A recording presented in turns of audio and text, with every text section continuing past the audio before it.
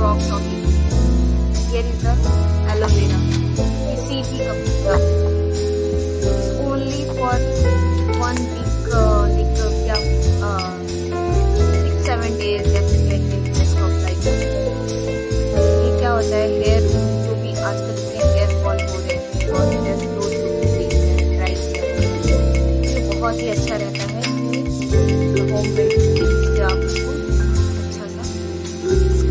scalp जो मिलती है और काफ़ी स्मूथ भी हो जाता है। आप चाहें तो इसमें कोकोनट ऑयल भी यूज़ कर सकते हैं।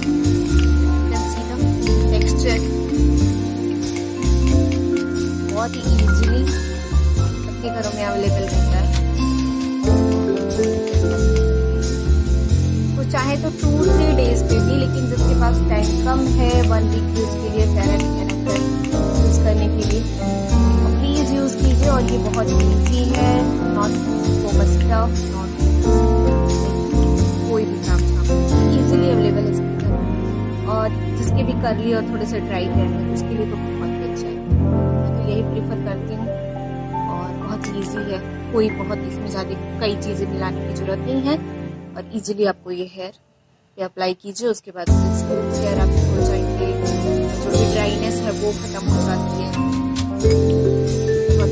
अच्छा ही नुस्खा और ये भी मैंने कहीं से पढ़ा ही था। ये किसी वेबसाइट से ही पढ़ के मैं इसको इजीली मतलब अब अपने ही घर पे जो भी होममेड चीज़ें हैं उससे डी आई वाई की तरह से मुझे लगा आपसे शेयर करना चाहिए। Sharing this aloe vera honey and almond oil ये तीन चीज़ें ही।